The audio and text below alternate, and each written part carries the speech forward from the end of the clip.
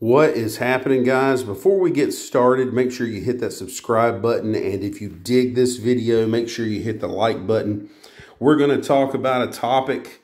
Some people might think that it's silly, but, and they might already know this, but I can't tell you how many times I've seen a guy who has just bought an N4 Vintage pop up in a Facebook group or a forum and say, hey, I just bought an N4 and the bridge pickup is missing the height adjustment screws on it. You see where those little holes are? See how this one's got the little screws there where you can actually adjust the height of the neck pickup up and down? And they think that they're just missing. So people like myself normally chime in and say, hey, buddy, you got an N4 Vintage there. They're actually mounted through the back of the guitar. There's these two screws that go through the body of the guitar. And they screw into the bottom of the pickup. Then the second question always is, well, how do you adjust the height of the pickup on one of these? So, and a lot of people chime in, they say, oh, you can't adjust it. It just screws in and it is where it is. And to be honest with you, the tolerances on these guitars where they build them and the actual bridge pickup cavity is cut to where it should line up right. But if you like your action a little bit higher, you like it a little bit lower, or, you know, say that uh, something's not lining up right and you do want to adjust this pickup, there is an easy way to do it. You know, normally people would, would tell you, take those screws out the back and just put the normal mounting um, springs and screws in there and just do it the, the normal way. But let me tell you how to do it. So basically, take that, like if you wanted to, to adjust the low E side, you want to take that screw out or just kind of get it completely loose to where it's you know, all you got to do is put a screwdriver to it and screw it back in. So when you take it out, it's going to make uh, this pickup here, it's going to make it loose to where you can actually take your hand and push it up or down. So basically what I did was I just pulled the pickup up a little bit because the pickup was uh, just, just a little too low for my taste. So I took the pickup and I pulled it up to where I thought it should line up with, uh, you know, where I thought it should line up. And uh, once I did that, I just put the screw in there and screwed it in there. And you want to screw it enough to where it locks into that pickup but doesn't pull it down. And that's pretty much how you do it.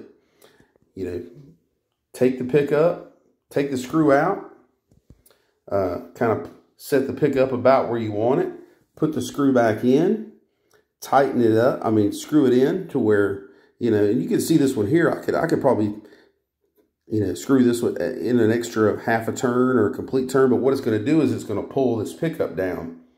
So you don't have to do that.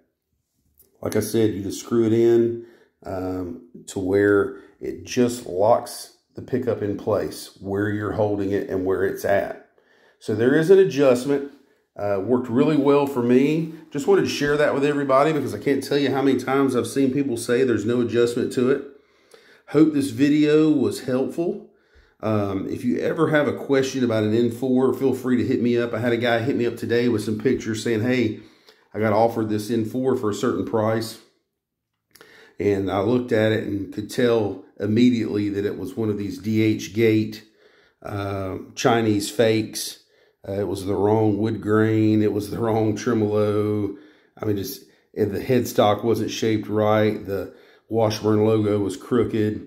Uh, another thing is uh, always look at the uh, the back plates on the back of the guitar. Uh, they don't really have a machine to make them for their fake N4s. So what they do is they have to cut them by hand and they're normally very, very sloppy. And some of them are actually sitting on top of the wood. They don't even, you know, carve the body out. Uh, so they're normally really, really super easy to, uh, to, to, to notice if they're a fake.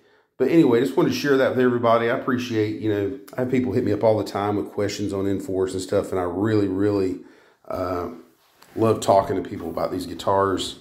Uh, this is the one that used to belong to um, Mike from uh, Darkest Hour, and I thought this was going to be a fixer-upper and thought I might sell it, but uh, it has just turned into probably my favorite N4 that I've ever owned outside of the, the 901 that we sold to Nuno. And um, it's just really, really cool guitar. It is a, you know, Davies 2.0 uh, and it's a 2008 model, which makes what makes that so cool is they didn't start making a Davies 2.0 until 2009. So this guitar is 100% pre-production. Uh, I think they knew that they were um, going to be making these. It's got the uh, 2.0 neck and the 2.0 uh, cavity covers on it. The only thing that doesn't have that's 2.0, I don't think they really figured out they were going to do that, was the, the jack on it. They didn't put the barrel jack on it. Um, but outside of that, that's what it is. Really cool super guitar. I've got a couple uh, more parts coming for it to make it just 100% badass. And then I'm going to make another big follow-up video with a bunch of details and a bunch of stuff that Mike shared with me about the guitar. I'm going to put that all in one big video. But thank you for checking this one out. I know there's a bunch of uh, N4 Vintage owners out there that uh, this might help.